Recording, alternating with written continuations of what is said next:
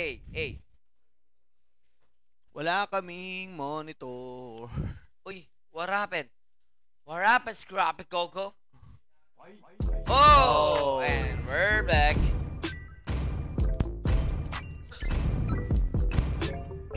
Oy, sabi rito, ano, ah, ni Mark Dave De La Rosa, agent.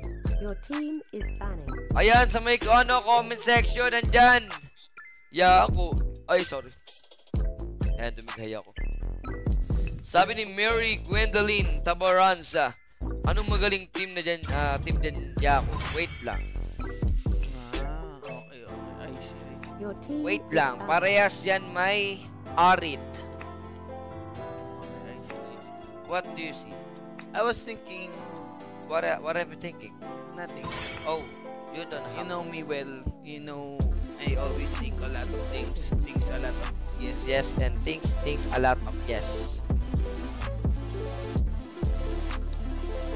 Ayan, yung madaming agent din mga naghahanap sa mga wala pa daw account. Andiyan, may mga ng PPM dyan. Pero, please lang, huwag kayong mag-PM sa Tambay TV page. Dahil hindi kami ang may hawak ng Sabong International. Hinahamon nga namin sila na magbigay ng papremyo sa ating paparating na Season 7. Ayan, bigyan natin yung feedback natin. Yan, wait ako. Okay, Uh, Maya. Kaya na tong Dragons. Oh, sige, sa Dragons ako. Okay, sino yung Dragons? Then, ito may screenshot, may ano tayo sa database din kanina. So, hanapin lang nagbato natin. ng Dragons. Mga ilan laro na ng Dragons yun? Ayun. Kumo versus ano, Rosa. Tapos, oh, Pronet Dragon Witch. Ayun, no? To eh. Pronet Dragon. Asan yung isa? Pangatlo na nila to eh. Alin? Team Pati pangatlo na to, di ba? Hindi. Ang katapat ata niyan kanina yung ano eh. Yung nali, yun eh. yung nali, Hindi. tinan mo. Rizal Awit yung kanina eh. Ayaw nga pala. Wait lang. Check ko rito baka ano. Wala eh. Ano di. Yung isa na sa akin eh. Pronet to parehas eh. Pronet. Hindi, mga hanapin mo yung sa'yo. Dapat dalawa yung sa'yo. ARM pero. Hindi. Puro panalo to. Hindi dito, search mo. Isa lang sa akin. Isa lang.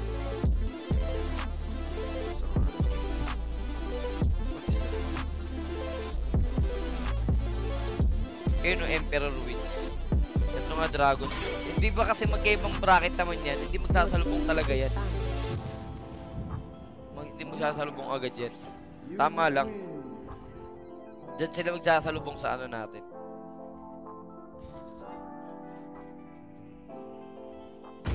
Eto ah, insight natin sa AR Emperors. Last game nila, katapat nila doon yung ating ah, team ng.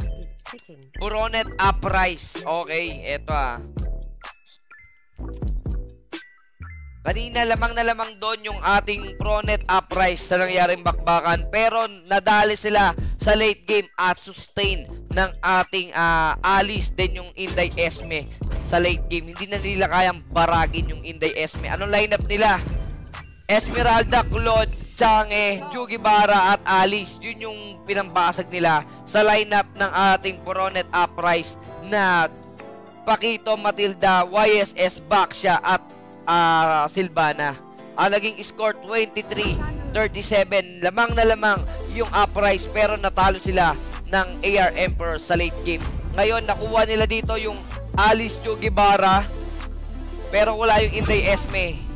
Hindi pa nakukuha dito. Yung pa sa Pronet yan, mga ako, masasabi ko lang, marunong mag-trap din yung captain. Galingin mag-trap yung captain sila. Yung pumumuha ng digi kanina. All good tayo dyan, mga yako. At syempre, eh, early aggressive sila dyan, mga yako. So, I go for Dragon's Team. Pero ito, ano, A AR Emperor sa Digi ba mga yako, nagdigi to eh. Digi ba yun? Parehas marunong to mga yako. Naku pala, digi Hati, pala. hati yung ano namin ni Yako Maps dito mga yako. Ah, malibot na ako sa'yo dyan. Yun nga, Kaya nga, nadaan lang sa late game talaga. Maganda bigay sa mid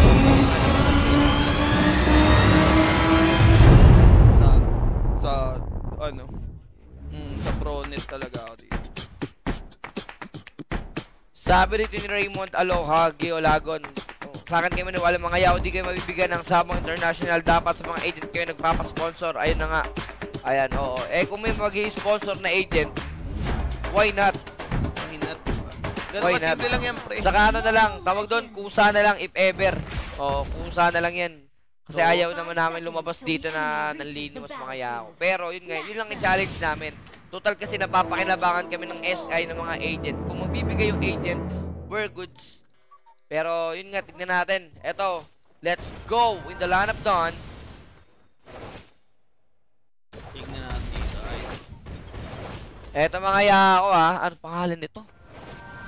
Jengar para sa kanyang Alice Lisi para sa kanyang YSS Trop ah, Toga para sa kanyang Parsa tapos si Don Sing Don Sing Cute. Grabe naman kasing pangalan niyan, hayop. Sinulit yung pang change name eh. Para sa kanyang Chugi Bara tapos to Digi last pick nila. pag hindi na put up to ng AR ng early game, hanggang masustain nila to ng mid game. Kaya dapat na sila din sa sila. Oo, yun na nga. Sabi rito ni Raymond, ano yun? Nang mapakinabangan kayo ng gusto ng mga agent dito mga Yako, haha, yan na nga. Alam mo, Yako Raymond, ah, nung una hindi naman namin, ano yan, okay lang kahit ano, ah, basta it's up to you, it's up to you dun sa end ng sabong, basta focus kami rito sa ginagawa namin kasi passion namin to eh, mahal namin yung ano, ginagawa namin. Tsaka para ano, ah, maging pantay yung pag ano natin sa mga players. Uh, tignan natin. Malamang dito yung ano, Hay, lamang yung alin. lamang ang lakas na na kasi dito ng ating ano, Oy, first blood pero hindi grabe naman 'yon. first blood yun. Grabe, pero ang lupit, ang lupit ng ginawa doon. Na mutik na matakasan yung gulong ng kapalaran. Nabinate talaga ng ah, ng ating back siya na mag-back siya para maging kampante yung Alice. Kasi kapag ano, may ano, hindi aabot yung Changi talaga. Pero tignan natin to. Oy, umaga na mga yao. Oy, si Derek Ocampo, magandang sama, magandang umaga sa iyo. Yako Derek at sa pagsama sa ating tarima. Wala, may oras na pala. May oras pa pala tayo. Which wala one? Na, eh. Wala, hindi. Ibig sabihin, hindi na namin alam yung oras. Mga ya- Oh, pag nasa loob kami ng ano, nagbibigla na lang kami. Daling araw na pala. marunong mag-zoning. Eto mga yako ah. Kasi ako, hindi mo na nagsasalita kasi napanood ko the way they play. Yung digi dito, masyadong late siya sa tikmaan. I'm not sure kung pinipilit niya magkaroon muna ng level 4 bago siya magkaroon ng ano dito ng engagement. Pero as of now, kasi level 4 na yung partial down sila yung nagbibigay dito ng pressure. And ang iniisip ko naman dito, on the side of Pronet dito, they already used the Digi on the first game. And they know how to control. And syempre, i-disable yung Digi dito.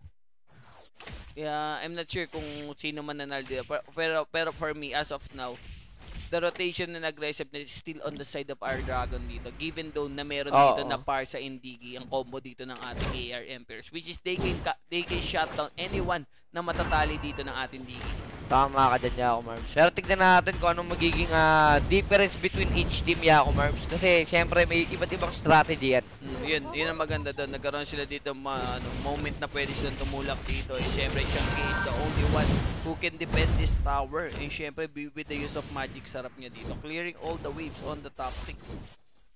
And Oh. Akala ko nang wala. yeah, because of the because of my English or uh, Oh, uh, because of your English. card. Oh, under the tower, pinasok dito. Alice, pero teka lang, nakapag-out nga dito ang ating Jengar. Grabe. At hahabol pa sana ang ating Roger Rocker para sa bakbakan. Tingnan natin, reset muna dito ang Pronet H-Dragon.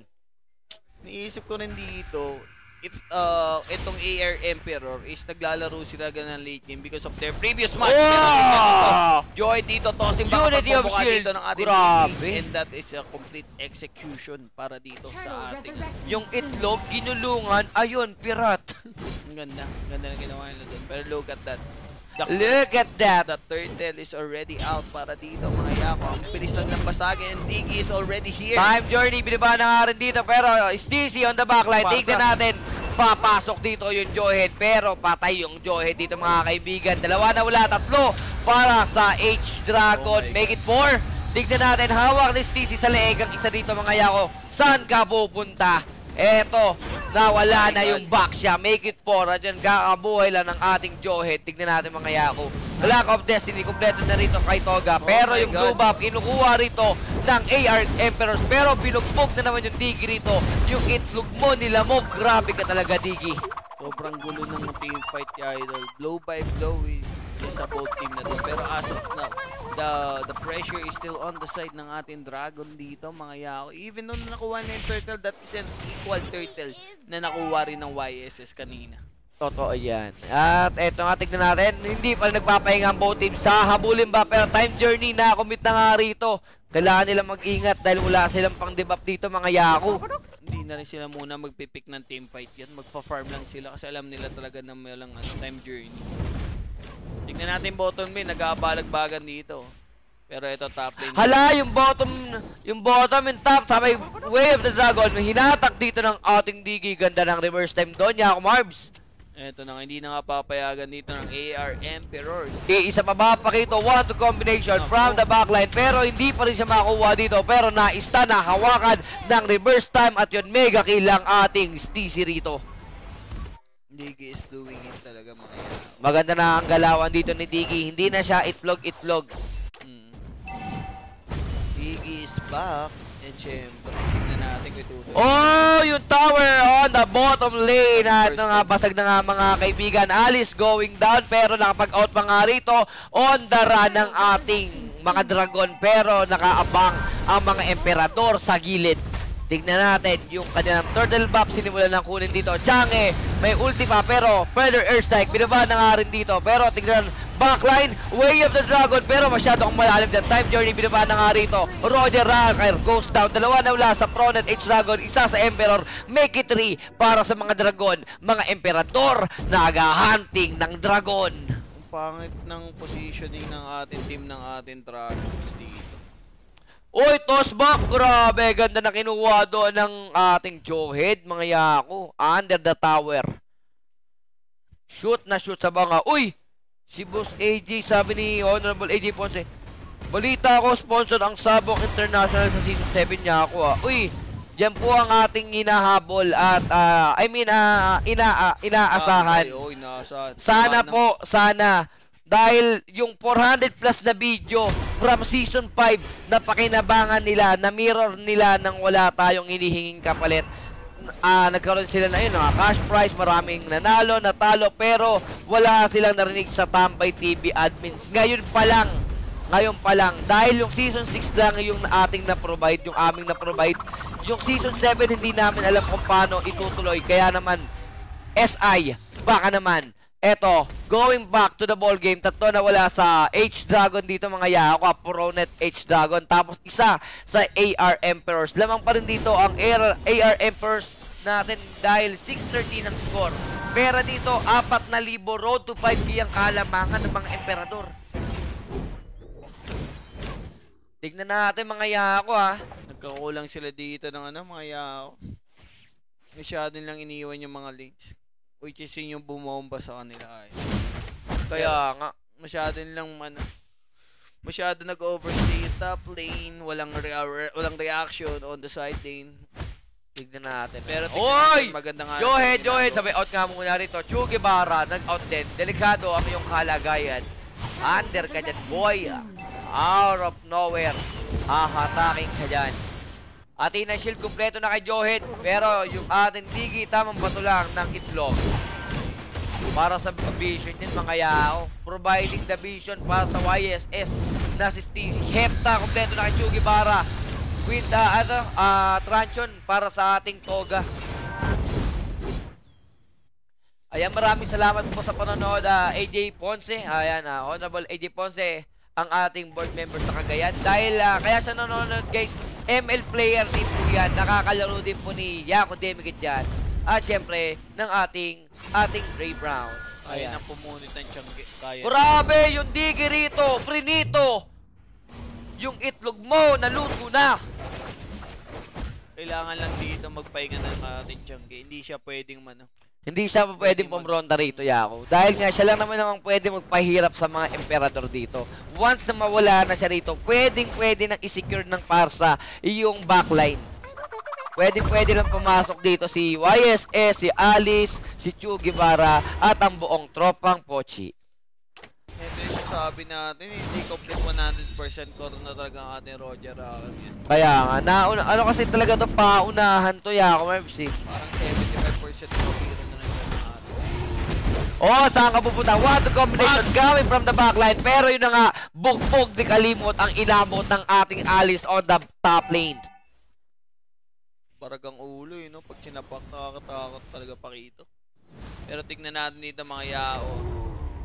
Medyo ano na, 10 minutes na, nawala na dito yung Magneto ng ating Sandrago. Medyo Oo. outplayed yata sila ng early game.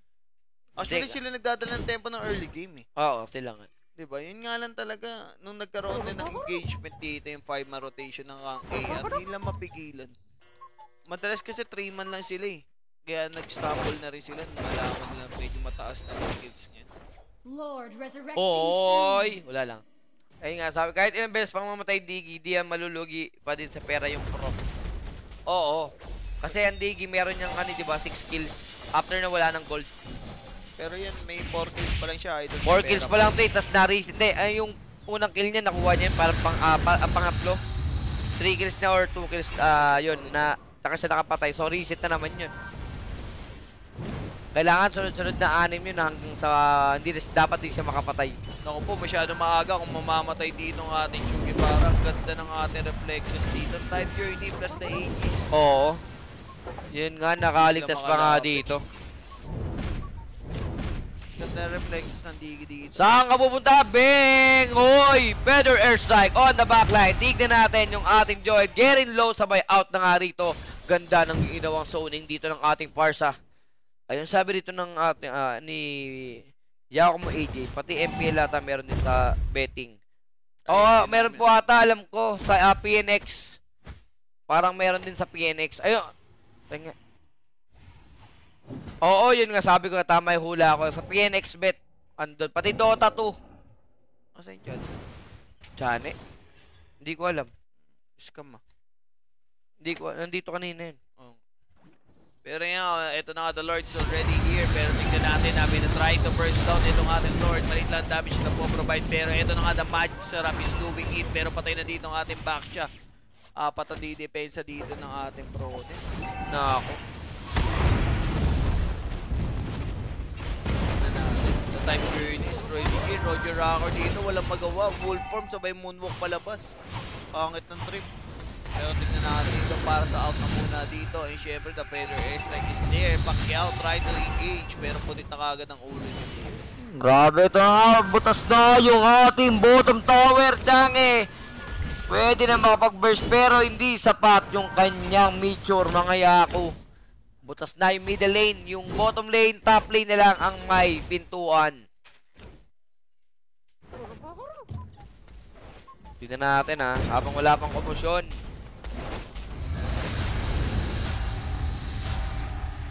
Ay sabi dito ni Yao mo Raymond, tama ka dyan Yao sa sinabi ko kanina.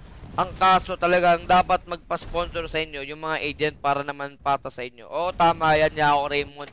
O ngayon, hindi lang SI, pati yung mga agent, hamunin na rin natin. Oo.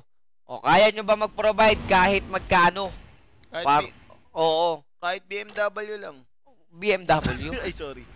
Oo, yung sa mga agent, yung total, nagko-comment na rin kayo dyan. Tama si Yao Raymond. O, tignan natin. Kasi yung ibang player, promise real talk, may ano, nagtatanong ng address namin. Out of nowhere, nagpapadala. Oo, nagpapadala ng pagkain. Hindi namin hinihiling yun, nagkukusa sila. Ngayon yung agent, tignan natin kung papalag sa hamon ng Tambay League. O, total, comment kayo ng comment dyan, di ba mga Yako? Eh di, magkasubukan na tayo ngayon season 7. Baka naman. Sa bayan na to. Feather airstrike from the backline. Securing na makakapasok dito yung Alice at kasama ang tropang Pochi, yung Crips. Reverse time, hinatak na nga rito yung Baksha. Baksha, nahawakan. Binaba na rito yung Tortoise. Tortoise, pero tignan natin yung ating top lane. Pinasag na nga rito ng YSS. At eto, naka-tower lock na nga ata ang ating AR. Pero nawala ng Crips. Baksha goes down. Dalawa na wala sa mga Dragon. Ang mga Emperador ay patuloy dito nagko-conquer. Nananakop. Johead under the side. Wala yung Digi pero naka-tower lock na ang mga Emperador. Nagpulutan sila ng Dragon. AR Emperor. Emperor securing another victory laban sa ating Pasok na H Dragons at syempre pasok na kayo sa next round.